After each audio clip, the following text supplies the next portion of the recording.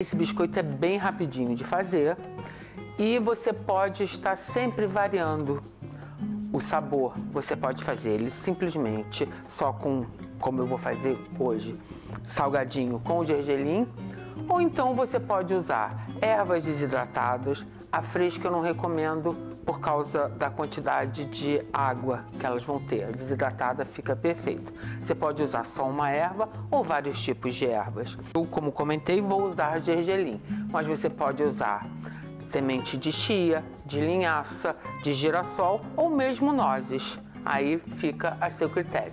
E é bom porque você pode estar sempre variando o sabor do seu biscoitinho e usar vários tipos de acompanhamento.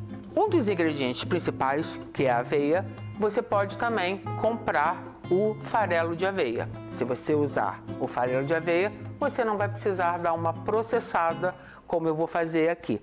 Eu estou usando aveia em flocos finos. O farelo, ele já está próprio para você poder incorporar os ingredientes. Os grãos, mesmo os finos, fica mais difícil de incorporar e a textura final não fica tão boa.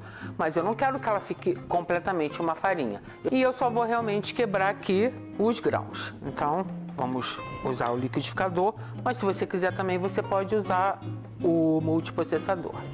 Ah, eu tenho aqui uma xícara e meia.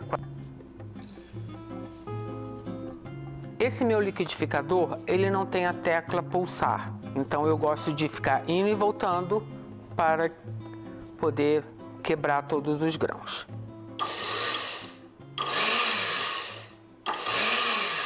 Vocês vão ver exatamente como é que é a textura que eu gosto de deixar. Você sente quando você mexe os pedacinhos dos grãos, não virou completamente uma farinha. Agora aqui eu vou adicionar meia xícara de farinha de trigo. E vou colocar duas pitadas de sal, aproximadamente uma colher de café. Você coloque ou mais ou menos sal, isso fica a gosto. Como também, se você quiser, você já pode usar um sal temperado. Assim, seu biscoitinho já vai ter um saborzinho extra. E, como eu comentei, estou usando o gergelim. Eu tenho 3 colheres de sopa. Se você quiser também, você pode dividir meio a meio, metade branco e metade preto, que aí assim eles vão ficar com um toquezinho de cor. Então agora inicialmente eu misturo os ingredientes secos e eu vou usar azeite. Se você quiser, você pode usar óleo, óleo de coco ou uma manteiga clarificada, isso eu deixo a gosto. Eu gosto muito de usar azeite, até pelo sabor que o azeite emprega a esse biscoito. Essa medida aqui é uma colher de sopa e eu vou usar três medidas.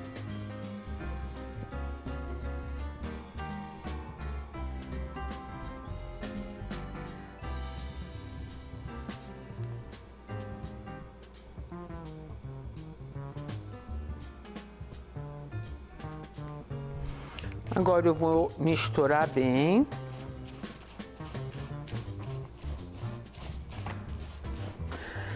Para essa quantidade, a receita pede 100 ml de água. Outro dia eu fui fazer, precisei adicionar um pouquinho mais, porque a farinha e a aveia, às vezes, elas necessitam um pouco mais de umidade. Então, depois dessa, eu sempre mantenho um pouquinho mais. Esse meu copo tem 150 ml e eu gosto de deixar para o final e ir adicionando aos pouquinhos até eu sentir que a massa está no ponto. Mas antes eu gosto de fazer essa mistura, tipo o pessoal chama de farofa. Então vamos aqui, porque assim você consegue incorporar bem todos os ingredientes.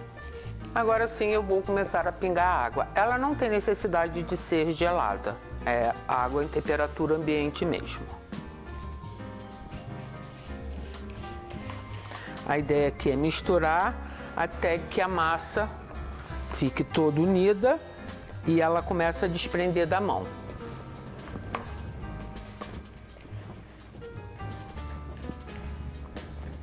Olha, ela ainda está bem quebradiça, então eu vou colocar mais um pouco de água.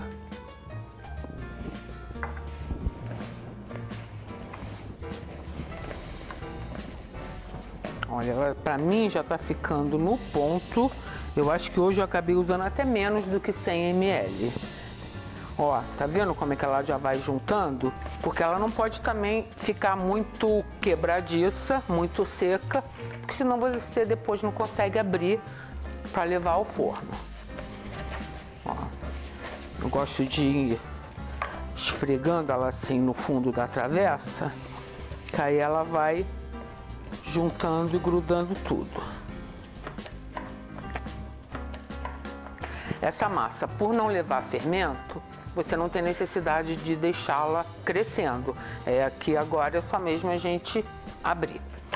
Bom, agora vamos para o trabalho braçal. Eu vou usar o tapetinho de silicone como base, que eu já vou deixar ele aqui para colocar no tabuleiro. E para ajudar a massa a não grudar, eu vou cobrir com papel manteiga.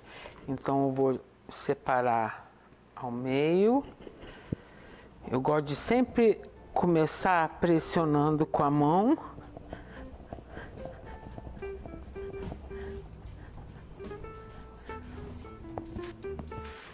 Aí você pega o papel e com o rolo você vai nivelando. Eu não gosto de fazer ele muito fininho, porque senão ele fica muito quebradiço e pode queimar mais rápido. Então eu deixo com aproximadamente uns 2, 3 milímetros, mas assim, não muito grosso também, porque senão depois ele fica mais tempo no forno para poder ficar cozido no meio. Então a gente vai abrindo.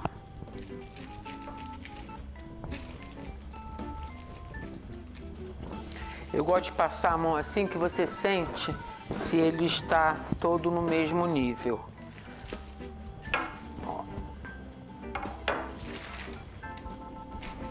Eu agora vou completar com o resto da massa. Eu gosto de fazer aos pouquinhos, porque senão faz, a gente fica forçando muito se colocar a massa inteira e for abrindo. Eu gosto de colocar aos poucos, porque assim você não precisa fazer tanto esforço.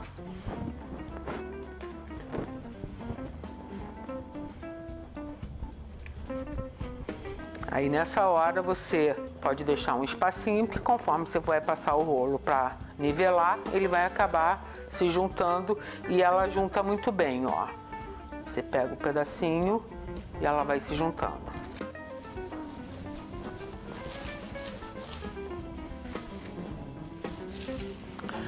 Ufa, eu acho que eu consegui.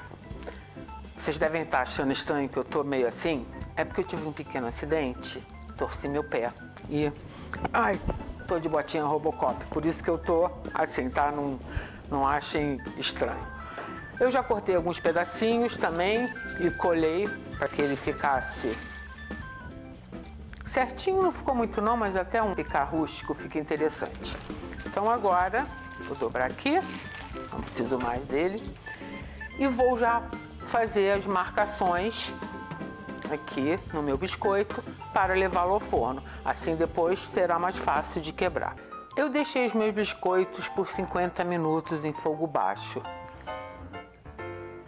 Olha, ele ainda está morninho, então ele ainda está um pouco mole, mas ele está durinho, super perfumado.